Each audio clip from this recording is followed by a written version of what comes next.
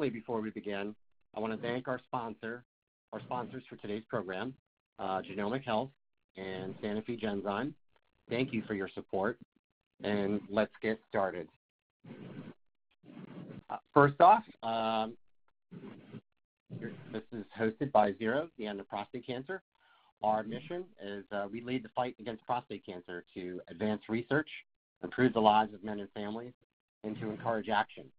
We fight to increase prostate cancer research funding at the Prostate Cancer Research Program at the Department of Defense so we can have more treatments to end this disease.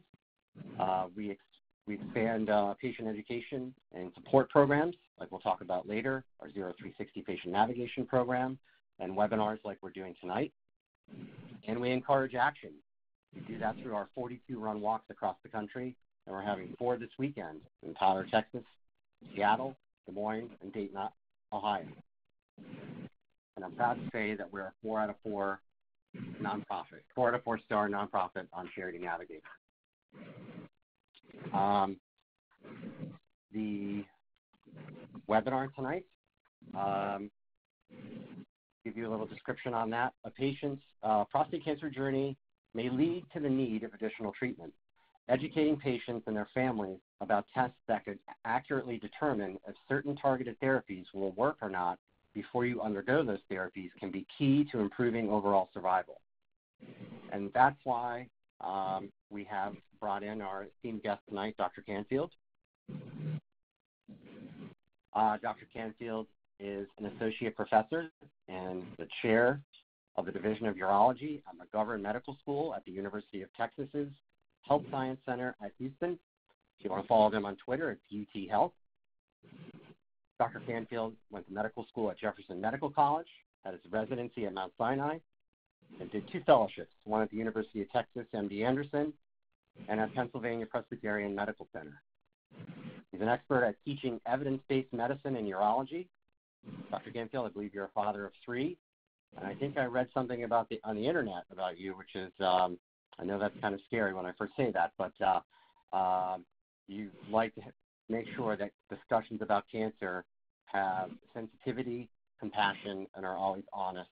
And throwing in a little sense of humor also helps. Is that right, Doctor? Um, can you hear?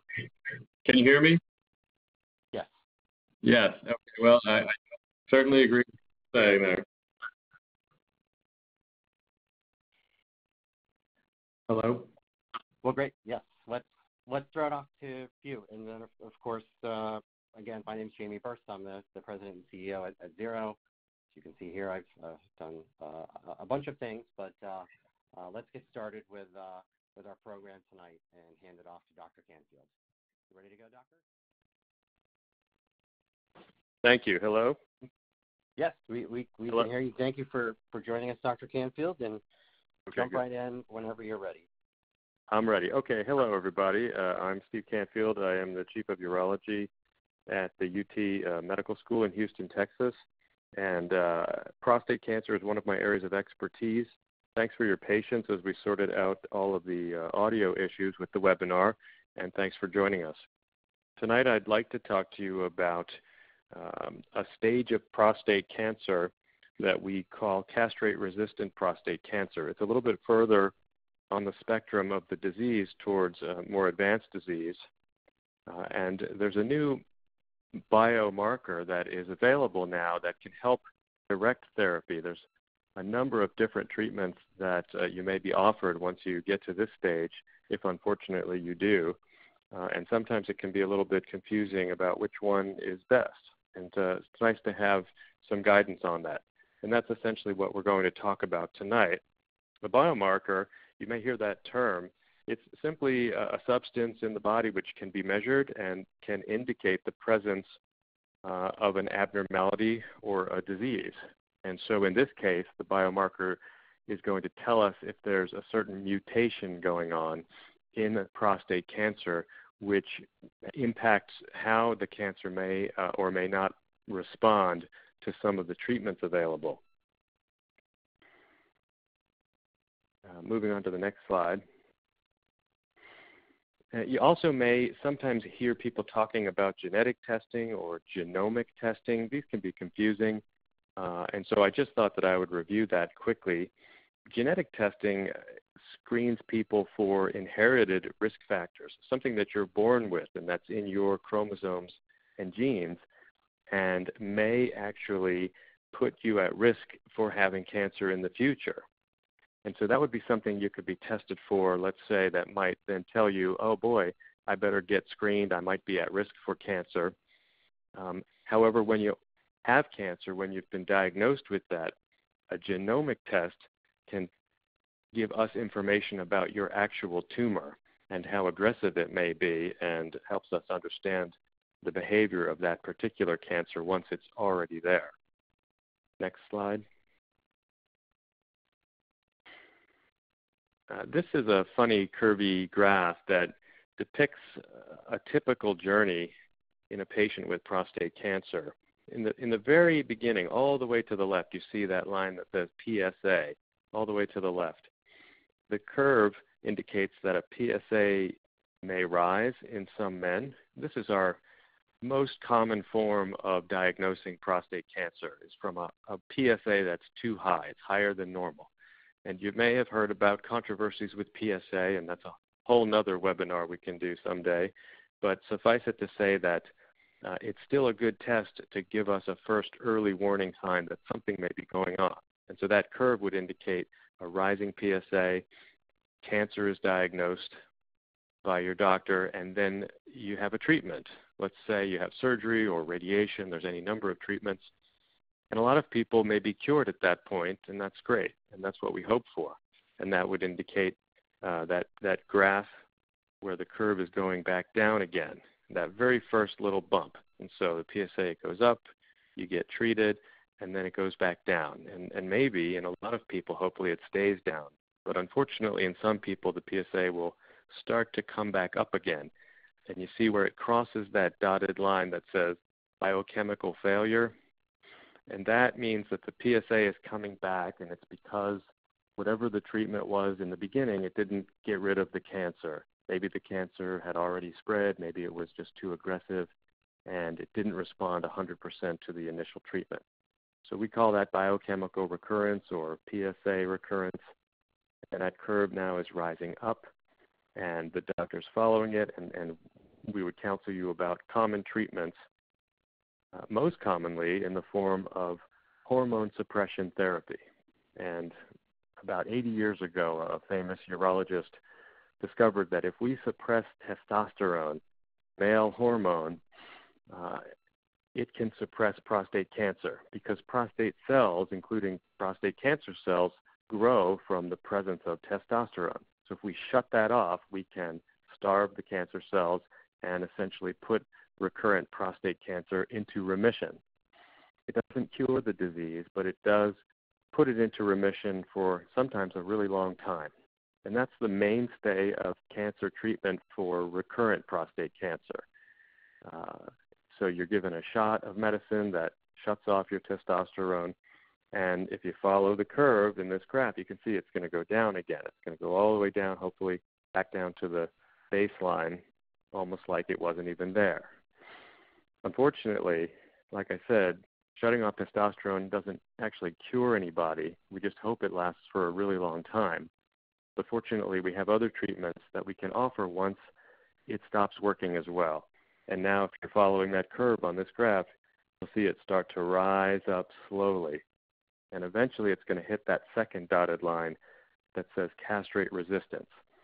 And what that means is prostate cancer will always be responsive to testosterone or what we call androgens. Androgens are just a, the broad class of hormones uh, that include testosterone.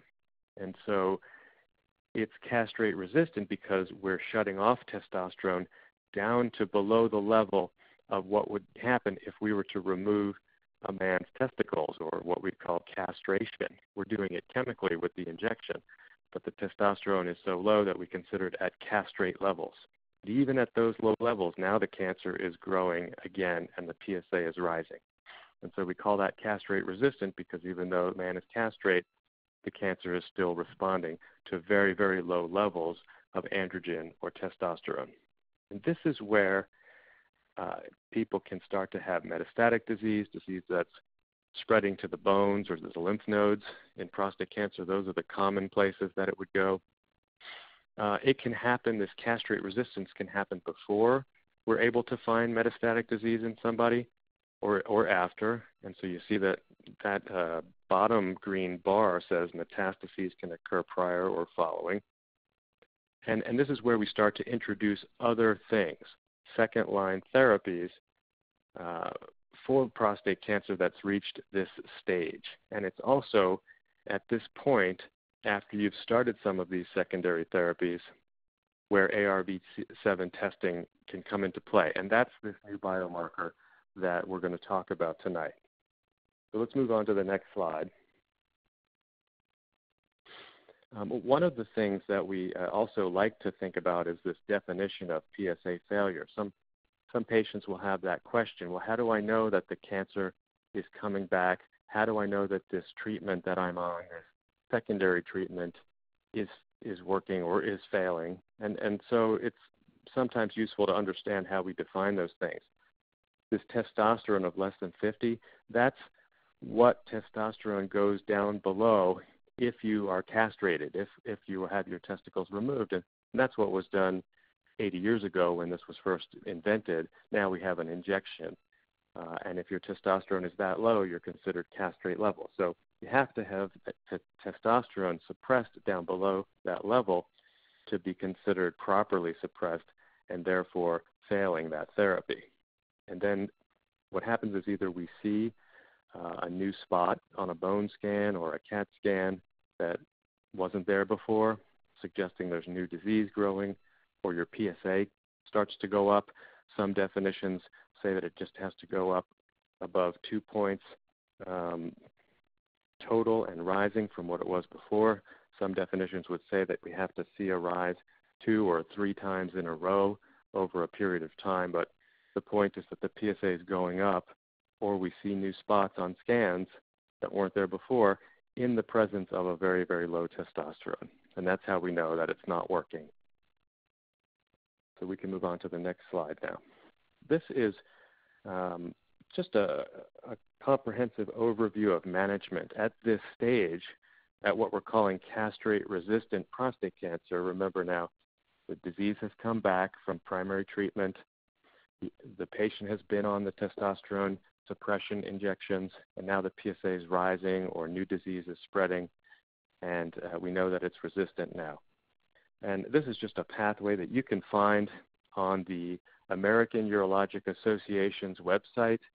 Um, it's free to access under their guidelines section of castrate resistant prostate cancer, and you can kind of see all the different things. It's too uh, small to go into detail, but I just wanted to let people know that if you were curious, you could find that on the AUA website.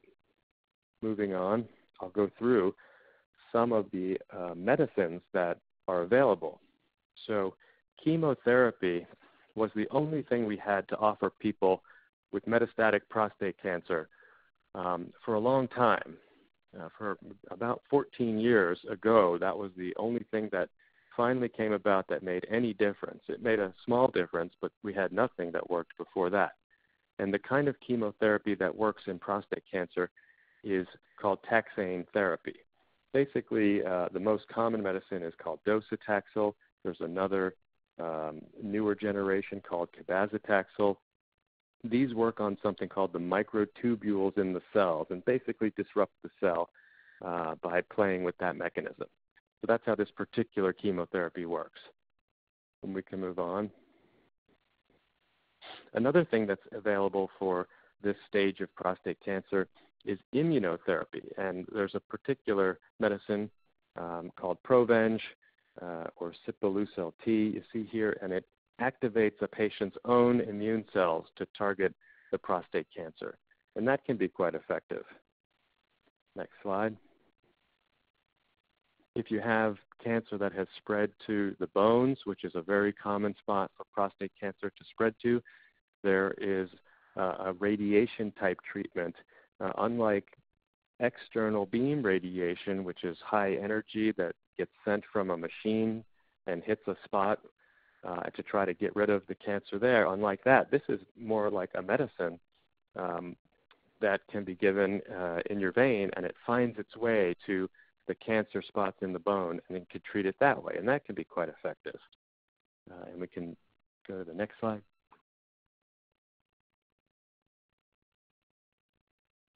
Okay, but now we're getting to um, some things more relevant to this talk tonight.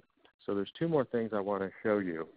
One of them is called abiraterone acetate. And this plays directly into the testosterone pathway. And so does the next thing I'm going to show you. So there's two medicines that you can get in this advanced castrate-resistant state uh, that still work along the hormone pathway, the testosterone pathway or, or what I call the androgen pathway. That's the overarching uh, um, term for the hormones involved with testosterone, androgens. And this is just a chemical pathway. You don't have to worry about the details, but basically it shows that along that pathway, from start up near uh, cholesterol, that gets converted in your body through different pathways and mechanisms all the way down to the lower right hand side where testosterone and other androgens come in. So if we can block that pathway early on and block the things that go into making testosterone, perhaps we can shut down testosterone even further than it is just from the injection you're getting. And so that's what abiraterone does. It blocks that pathway in a couple of places early on. And let's say your testosterone is around 20 from the injection, it can take your testosterone all the way down to 1 or 0. And so that's why it can be so effective at this point. And then there's another thing we can do, which is the next slide. Yep, go ahead to the next slide. And that is block the actual receptor where androgens like testosterone will bind. On the prostate cancer cell, it's waiting for testosterone to float around and attach itself to the cell. And that happens at these things called a receptor. There are specific receptors for testosterone, and when that gets attached things happen inside the cell. And activations inside the cell occur, growth factors, and the cell starts to grow and produce other bad things. And so, if we could block the receptor as well, that would be a good strategy in this castrate resistant state. And that um, occurs with medicines that we have, such as something called enzalutamide or uh, Xtandi. Oh, and by the way, the abiraterone I should mention you might have heard of it as Zytiga. That's the brand name of the abiraterone. So Zytiga works through the abiraterone pathway of blocking the creation of testosterone, and the Xtandi that you may have heard of works this way. It it blocks the receptor of the prostate cancer cell, and it can do that outside the cell. It can do that in various ways inside the cell, and that can be quite effective. There's also a newer medicine called apalutamide, or Erleada, which works very similar to the Xtandi. And so now there's two things that you may be uh, given the option of using that work in this way. Okay. So that catches everybody up on all of the different options available in castrate resistant prostate cancer. Uh, some of the most common things that you'll be offered if that happens to you would be the Zytiga or the uh, Xtandi, or now even the Erleada, any of these might be offered to you and work through this androgen uh, pathway of blockade. So the problem creeps in that prostate cancer cells, well, any cancer really, it's tricky. And anytime you start to treat it, it will find ways of mutating and evading your treatment. And that happens in prostate cancer too. So once we start to try to block the testosterone receptor or shut down the production of testosterone in very clever ways, the cancer cells create mutations, unfortunately, to avoid these things that we're doing. It's kind of like um, when you have a drug resistant bacteria and you're giving antibiotics that don't work anymore because the bacteria has figured out ways of surviving without needing uh, that antibiotic, it doesn't hurt them anymore. And so the same thing can happen here. One of the ways that prostate cancer has been found to do that is by creating a mutation in that androgen receptor. And so if you go back to that prior slide for a second,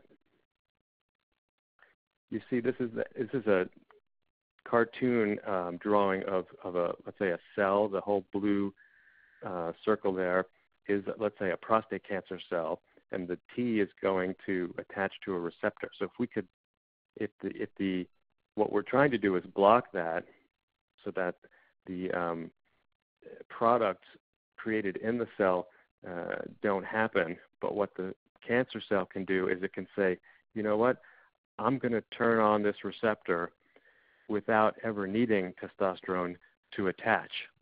Okay, so we can go forward to the next slide again. And that is a mutation that's known as the androgen receptor variant 7. So there's a, a number of androgen receptor variants. This is just number 7. So that's the, that's um, the reason why this particular mutation is called ARV7. It's not a, a mystery, it's a, just a logical name. And what happens is, if you look in this blue box here, you'll see that uh, this is a representation of the different sections of this receptor. Uh, normally, it has three sections, but in the mutation, that's this little two boxes below the three boxes where it says ARV7 there. You see it's missing one of the boxes. And what the mutation does is it gets rid of the binding section of the receptor. And so now it doesn't care whether there's testosterone or other androgen around anyway, it just always turns itself on. So that sounds pretty scary. Um, it sounds pretty clever of the cancer cell, and it is. It can be pretty devastating and aggressive. And you might also realize at this point that if it can do that, if it can turn this receptor on through this mutation, and it doesn't care if testosterone is there or not, then it doesn't matter whether we're trying to block that. And so things like Zytiga and Xtandi and Erleada no longer work if this mutation is present. So let's move on to the next slide. So this is a, a, a kind of a medical slide looking at survival curves. We call these kind of graphs Kaplan-Meier curves.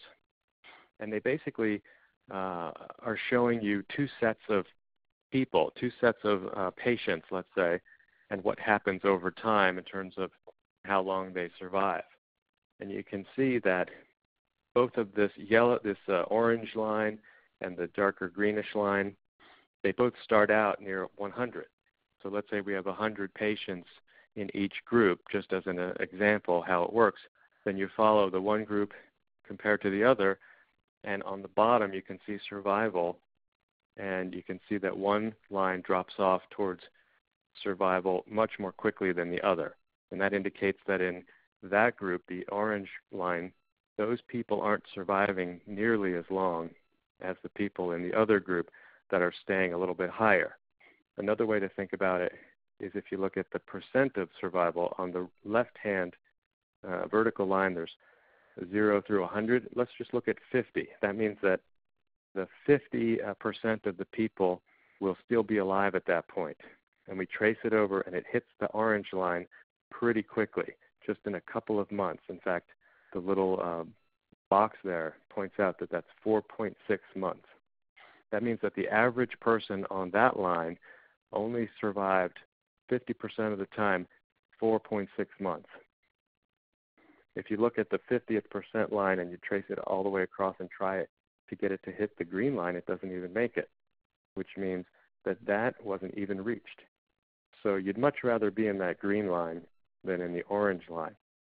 And what this graph specifically is showing you is in men with castrate resistant prostate cancer, they were all tested in this study to see if they had the ARV7 mutation.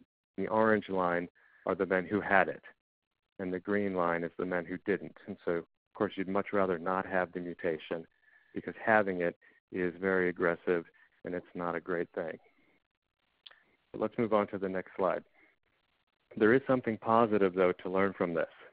And these two curves now show you two groups of patients in each curve, um, depending on what they're treated with, right? And so in the first box, you can see that if you um, have the ARV7 mutation, and I just showed you that that's a bad thing no matter what.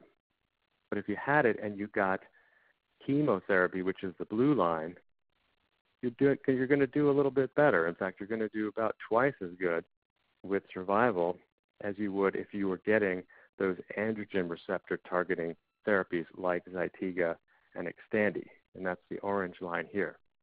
So that first box uh, graph compares people who had the mutation, which is unfortunate, but what happened if they got chemo versus the second line hormone hormone therapy? And it's much better if they got the chemo. If you go over to the right hand box, you can see the lines are a little different. And in this case, the orange line is better. These are men who did not have the mutation. So if you don't have the ARV7 mutation, you're going to do better if you get the Zytiga or the Xtandi treatment. And that's what that's showing you.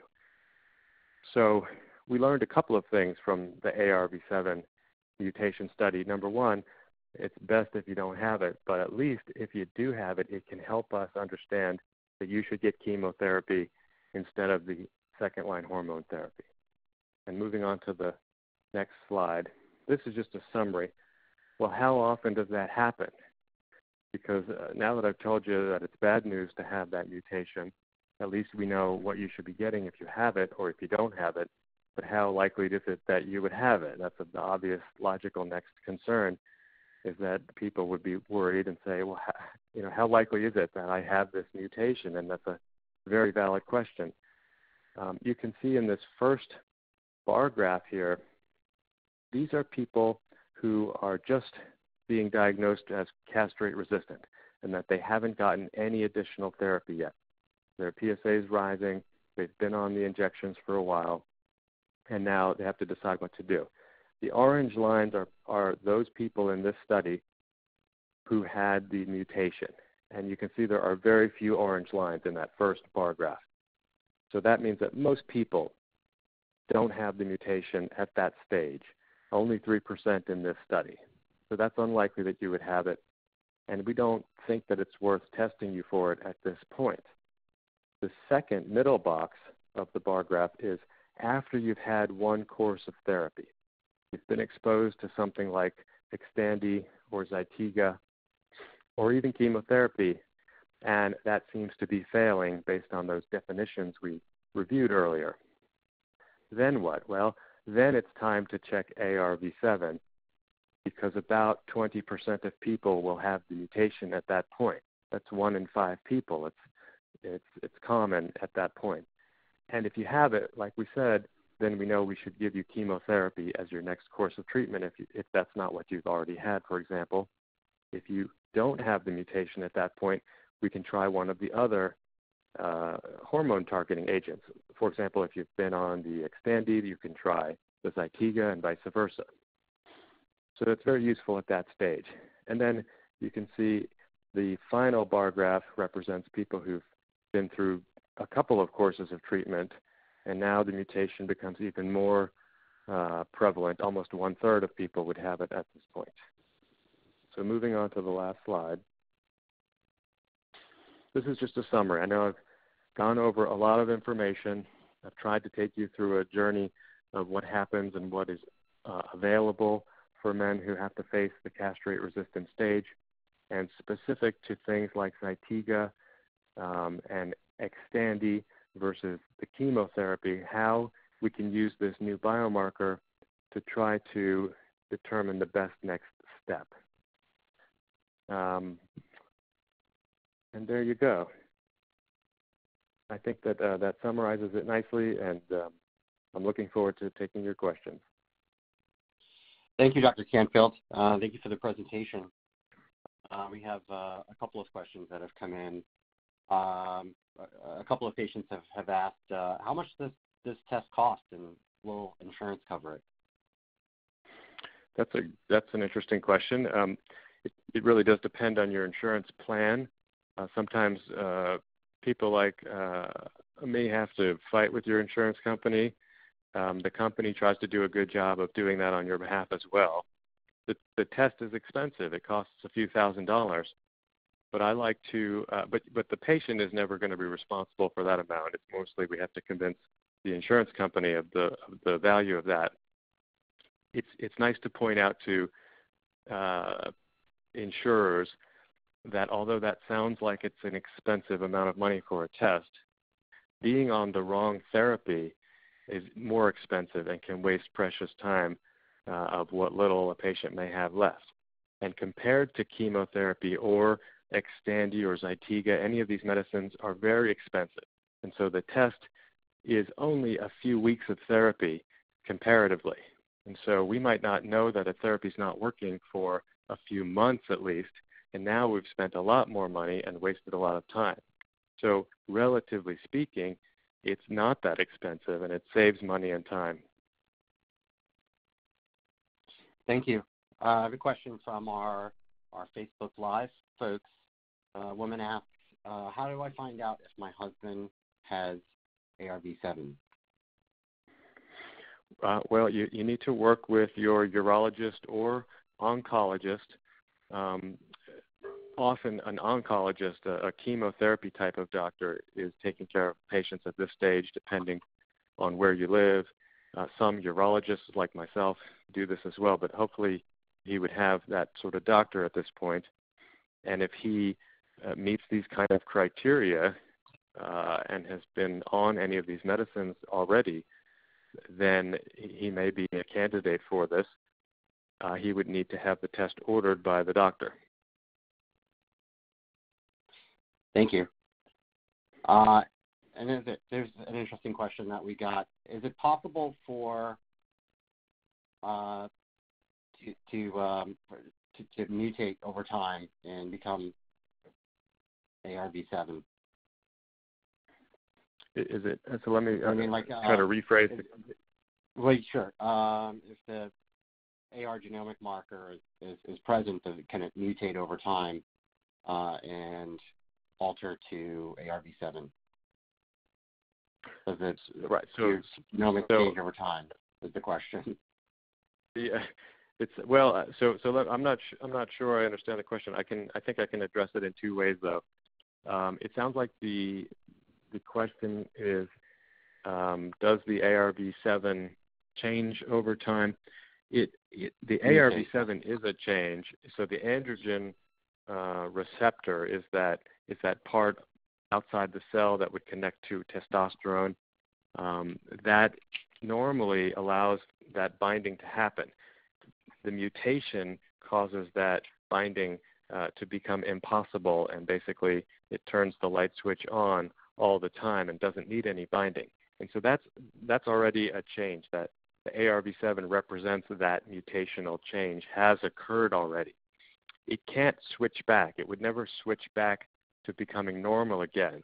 But what could happen is you could maybe get rid of it. So, like I said, if the mutation is present, then those people should not get any more therapy trying to block that receptor uh, or testosterone in general because that won't work anymore. But they could get chemotherapy with something like the docetaxel. That may, in effect, wipe out those mutated cells so that there are normal cells again that could then, in the future, respond to those other treatments again. And how long has uh, ARV7 testing been available? Uh, I can't give you a good quote on that. It's been around um, uh, almost a year.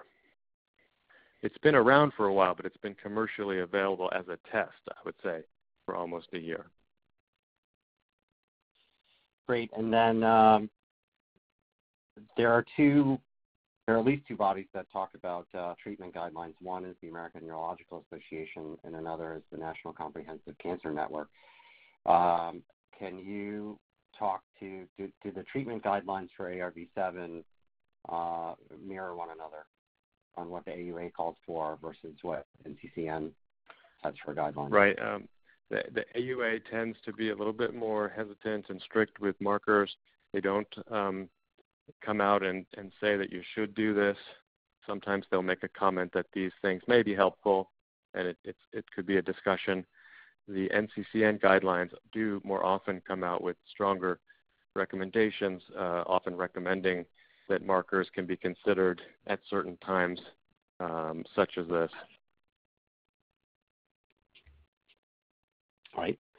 Thank you. Uh, uh, another question comes in of if you had the ARV7 test and it came back negative, uh, could you later come back and it be test you come back positive? Yes. Oh, a good point that I did not bring up during the presentation.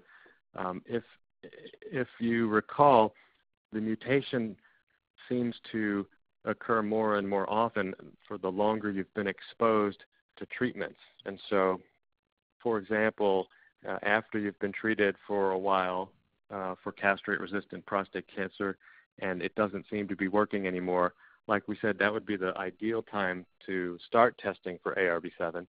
Let's say it was negative, and then that would open up the option of continuing with another type of similar medicine that might still be working on that receptor area. And so then you get treated with that for a while, and maybe that stops working, and then you could be tested again because the likelihood increases uh, over time of exposure to these kind of medicines that the mutation might happen. Um, just as a reminder, before uh, you've done anything and you're just newly diagnosed with castrate-resistant disease, in in the main study on ARV7, uh, there were very few people with the mutation, only 3% at that point. After you'd been treated for a while and maybe switching to something else, about 20% of people had it. And if you went on to need a third therapy, uh, about 33% um, had it at that point. Now, for a man who is positive uh, for the marker, um, would their castrate-resistant prostate cancer be considered uh, aggressive all the time? Extremely aggressive. So ARV7 is just one of the mutations that can occur that we know about and that we can now test for. Uh, there are other things that can occur that we aren't really able to test for, but we know happen. So there's a number of things that can lead to aggressive or very aggressive prostate cancer, but it does appear that this specific mutation is definitely one of them. And if you have it, it's very aggressive. Now, is it something that uh, a patient and his, his family uh, should look at uh, getting this test if there's a, a family history of prostate cancer? No, uh, that would be more um, like a PSA, something early on in the screening process. If you have a family history, that that does increase your risk of getting prostate cancer, and so a PSA would be uh, one of the best ways to start looking for that. Uh, this ARV7 test really doesn't come into play until very late stages, and so it's not considered a screening test. Now, uh, I have a question coming in. Uh, at at what point would you consider uh, prostate cancer being um, castrate resistant? So that occurs when a man's been treated with testosterone suppression therapy. It's usually an injection that you get every few months in your doctor's office. It shuts off the production of testosterone. And we do that for cancer that has come back or has spread. Um, and uh, we know that at that point it's not um, likely to be cured, but our goals would be to try to control it for a long time, maybe even letting somebody live out the rest of their life with it being treated and controlled. Castrate resistant disease occurs when that strategy is not working anymore. And somebody who's getting these injections um, is no longer in remission and the, the PSA is coming up, and maybe there's even some spots on scans. So that's how we know somebody has become castrate resistant. And can you share for us again how long, on, on average, will hormone medicines work? Um, that's a good question, and it has a little bit to do with how aggressive the prostate cancer was to begin with before it recurred, and if there are any uh, metastatic disease present. So often um, after somebody's had treatment and it looks like the PSA is coming back up again, um, at some point that may be offered to a patient to start the testosterone suppression therapy. Maybe some x-rays will be done. So if somebody does not have metastatic disease in general, we would expect that the hormone suppression should last on average between three to five years at least before it might stop working. So that's a pretty good long time. If there are already metastatic disease uh, and the hormone suppression treatment has been started, then it may not last as long, more on the order of 18 months, maybe up to two years. But but it's not going to last as long before you become castrate resistant. And what what would be the the arsenal of treatment, and uh, and perhaps in what order might be a great strategy for men with castrate-resistant prostate cancer that come back with a, a positive uh, ARV7 mark? Okay, well, um, that sounds like a couple of different questions mixed in with one there. So let me just see if I can address each one. Um, so for castrate-resistant disease, we're talking about a man who's been on the injections already. We like to continue the injections because the resistance is only happening in some cells. Some prostate cancer cells have mutated and become resistant, and some of them are still responding to the injections, the hormone suppression. That, so we continue that, and then we add something on top. And that uh, can be many different things depending if there is spread of the disease, what we call metastases. Metastases means if we do some scans like a bone scan or a CAT scan and we see cancer that's outside the prostate, it's somewhere else like in the bones, that's metastatic disease. So if, if that is present, then there are a number of things that can be used. Some of the things I mentioned, like immunotherapy, uh, radium therapy, or more commonly, the Zytiga and the Xtandi. Uh, and some of those things are also available if there's no metastatic disease. Uh, that's brand new, actually. In the past few months now, we've had uh, options for castrate resistant disease with no signs of metastases. We used to not be able to do anything. We used to just have no options and watch the PSA keep going up and keep getting scans until we could show that there was metastatic disease because there was nothing else approved. But now we don't have to sit there and wait. Now we can use the Xtandi or uh, something else called Erleada, which is very, very similar to Xtandi. So it, it's quite Thank complex. You, There's quite a number of options, and really, it's best something that's discussed in detail with, with you and your your doctor uh, to see what's going to be best for you. Thanks, doctor. And um, when does it make sense to to test men before starting, or does it ever make sense to to, to test men before starting on Xtandi or Zytiga?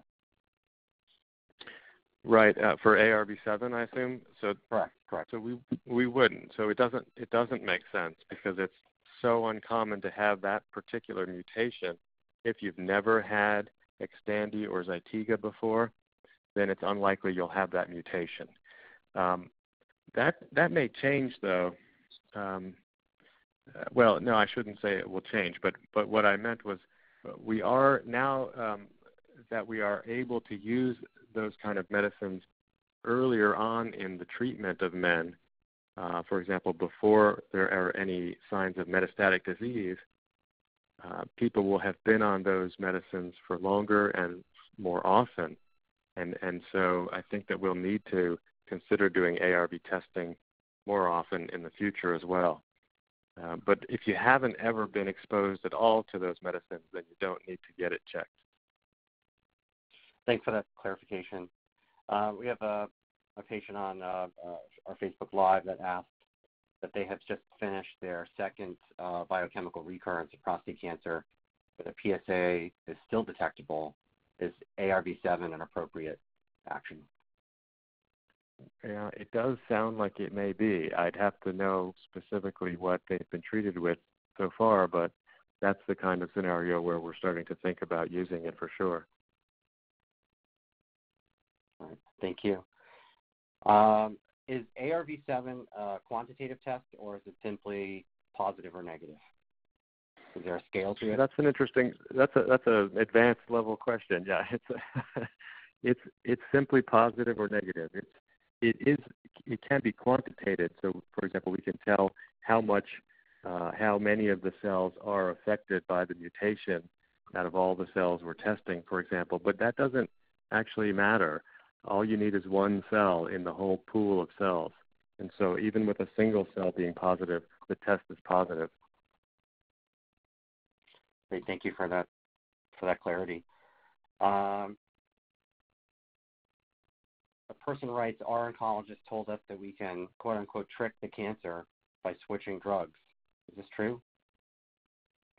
Um, yes and no. It's hard to trick the cancer. It's pretty darn tricky itself. But but what this test can help us with is knowing what may work next um, especially with taxane therapy. And so if your ARV7 is positive, then you should be on taxane therapy.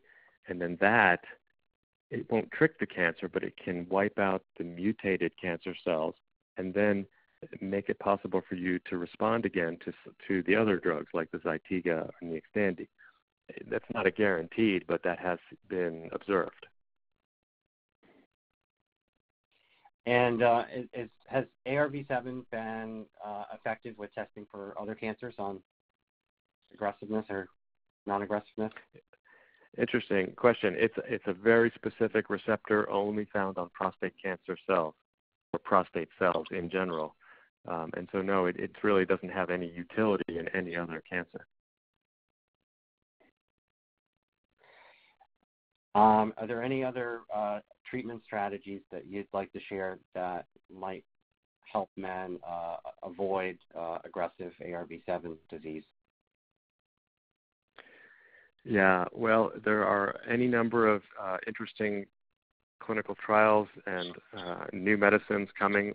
We, we really had an explosion of treatment options over the last um, eight to 10 years.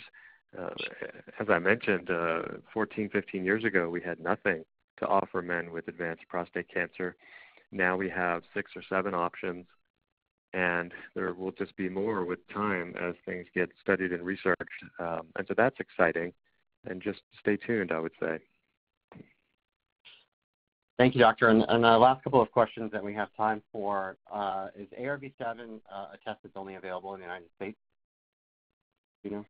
I believe I believe that's true. I don't know uh, anything about the um, marketing and availability in other countries. I I don't think that it's readily. I don't think it's available outside of the U.S. at this stage. And um, where can patients and their families go for more information about uh, ARV7? Uh, I think a good source of information specifically about that would be on Genomic Health's website. They are the um, sponsors of the uh, test. They market it um, and provide it, and so they have some patient information on their website. Uh, another good source, just in general, that I would refer patients to for prostate cancer uh, of all stages, including advanced prostate cancer that we've been talking about, would be at, at the American Urologic Association's foundation called Ur- Urology Cares, and you can just easily find that by searching Urology Cares. It's uh, it's meant for patients, and it's very uh, user friendly, easy to understand. It's got all sorts of information. So once you're there, you'd have to look up prostate cancer specifically. And uh, the website that uh, you were referencing before, just to jump in, that, that's www.oncotypedxarv7.com backslash patients. Perfect. For, for this listening. Uh, thank you, Doctor. It's been uh, a pleasure and an honor to have you. Thank you for uh, the presentation. I apologize for our, our audio hiccups at the beginning, and um, an outstanding job fielding uh, an array of questions.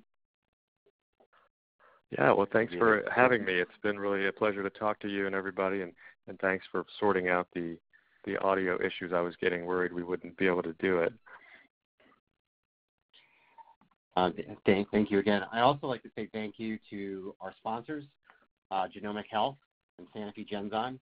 Uh, we appreciate it. We wouldn't be able to uh, uh, bring you the patient education webinars that we were able to do without your support.